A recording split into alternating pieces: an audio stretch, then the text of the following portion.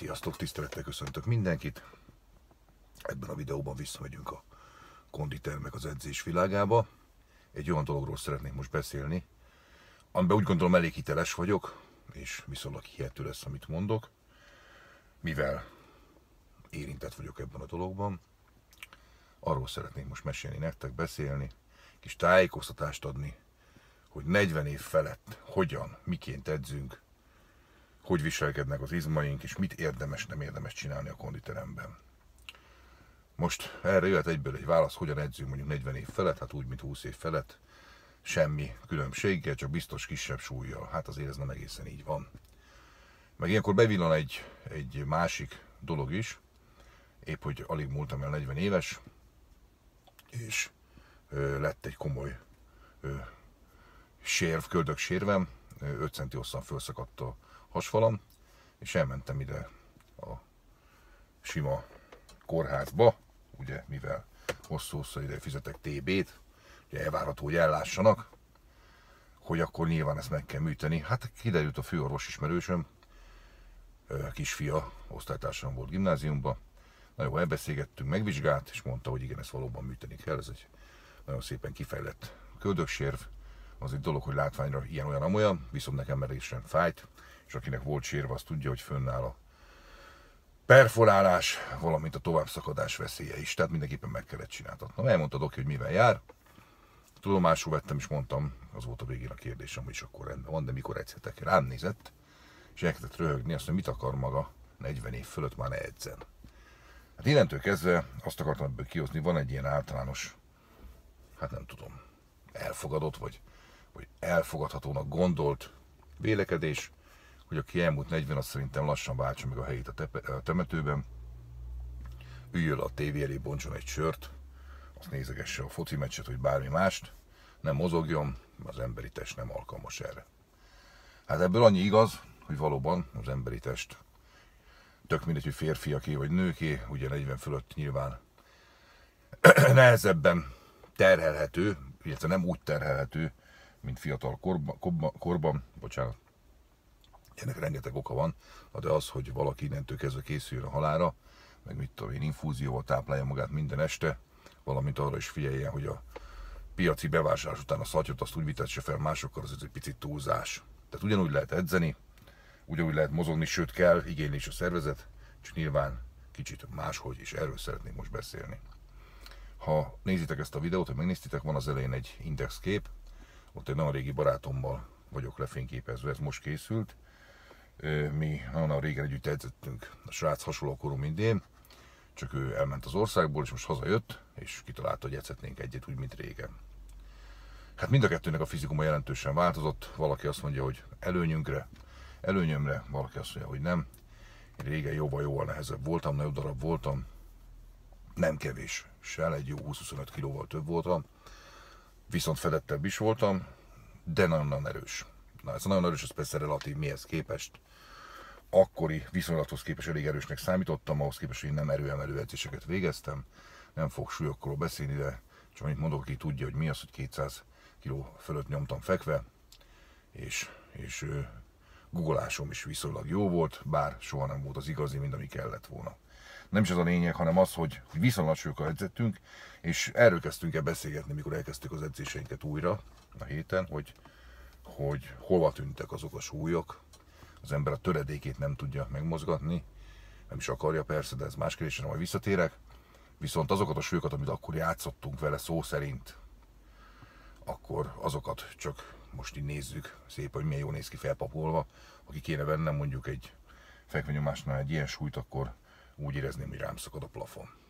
Ez egy természetes folyamat, igazából nem keserít el, idáig is eljut az ember, nyilván örül a valaki ennyi idősen még mozogni tud, meg konditeremben meg tud valahogy jelenni, de azért érdekes dolgok ezek. Visszatérve a kiindulásra, tehát arról is beszéljük, amit elkezdtem, hogy hogyan edzünk ennyi idősen. Ezt igazából tanítani szerintem nem lehet. Aki folyamatosan edzésben van, az igényli, igényli a mozgást, igényli az edzést, és a szervezete úgyis jelezni fog mindenben. Tehát ha valami sok, azt is jelzi, meg ha valami kevés, azt is jelzi. Egy biztos, hogy ahogy öregszetek, öregszünk, az izmok reagálnak erre különféle módon. Az egyik az, hogy megrövidülnek. Ha tetszik, hanem te bármelyik nyújthatsz, ugye a nyújtás egyrészt azért van, hogy ne rövidüljenek meg az izmok, így jobban is fejlődik, a sérülések is elkerülik.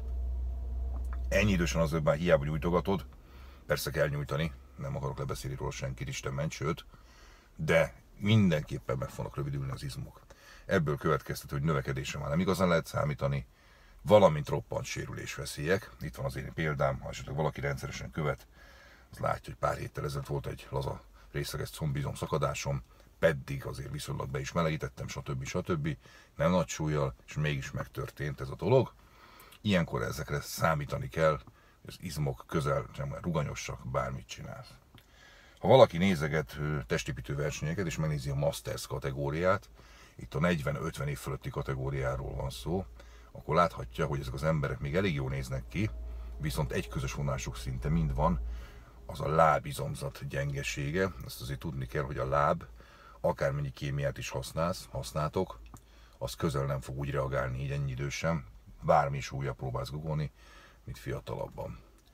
Ennek ezek, ezer oka van, nagy részt ugye biológiai okai vannak, nem tudja a szervezet ugyanazt a, azt a ingert adni, meg ugyanazt a növekedési ritmust adni az alsó résznek, a test alsó részének, mint a felső. Tehát felül még elég jól néznek ki a Masters testépítők, viszont a láb az sokkal-sokkal gyengébb.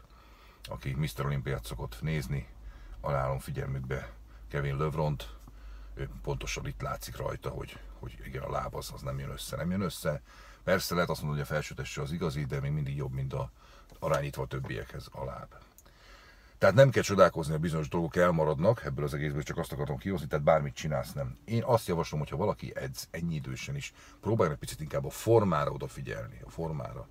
Nyilván nem lehet csontszáraz senki sem, meg nem is lehet tartani ezt, viszont sokkal látványosabb, hogyha valaki mondjuk ennyi idősen is egy viszonylag lapos hassal, viszonylag egy kidolgozott a bizonyzottal rendelkezik, mint hogy úgy néz ki, mint egy felfújt gömböt. A fiatalok erre még hajlamosak, ugye, hogy azt hiszik, hogy minél nagyobb vagyok, annál izmosabb és hogy tudom én szépen oldalsó középtartásba sétálgatok az utcon egy marha nagy bélszerkezettel, akkor egy rohadt izmos vagyok. Ennyi idősen azért már be kéne ebbe érni, hogy nem ez a fontos, sőt nem is az a fontos, hogy mennyivel nyomkodok fekve, hanem, hanem teljesen más. Ilyenkorra már el kell jutni egy olyan izomtudatig, hogy pontosan tudod azt, hogy te mit, hogyan edzél. Tehát nem feltétlenül az a fontos, hogy te összeraksz magadnak egy edzéstervet, és azt pontról pontra követed. Sőt, sőt, én úgy szoktam edzeni, hogy érzésre. Nyilván, ha eldöntöm, hogy aznap mondjuk lábazok, akkor lábazni fogok, viszont ahogy elkezdem az edzést, érzem, hogy fog-e menni, esetleg a nagyobb, viszonylag nagyobb súlyokkal való terhelés, hogy nem fog menni, hanem szépen elkezdek teljesen más jellegű edzéseket csinálni, kisebb súlyokkal, inkább arra figyelve, hogy, hogy a vértelítettség meglegyen, bedurranás meglegyen, és erre figyelek. Tehát mindig az, olyat edzek, amit épp kíván a szervezetem, ez rohadt fontos. Hát ilyenkor már marhára nem lehet és nem is szabad megerőszakolni a szervezetet, mert előbb-utóbb ugye ez lesz a vége, amit én mondtam, hogy mindenképpen gugolni akartam, azt tessék, meg lett az eredménye.